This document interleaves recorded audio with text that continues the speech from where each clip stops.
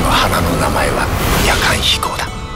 この森にしかなくてしかも7年に一度しか咲かないときているかつては魔女たちまでもが探し求めたらしい魔女そう魔女の花だ私今夜だけは魔女なんだ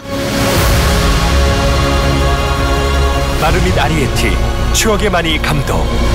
공인된 마법을 깨운 소녀 마녀가 되다 스기사키 하나 카미키 류노스케 올겨울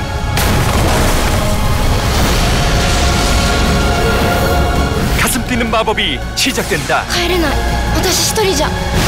約束したんだから一緒に帰ろうって 메리와 마녀의 꽃 12월 대개봉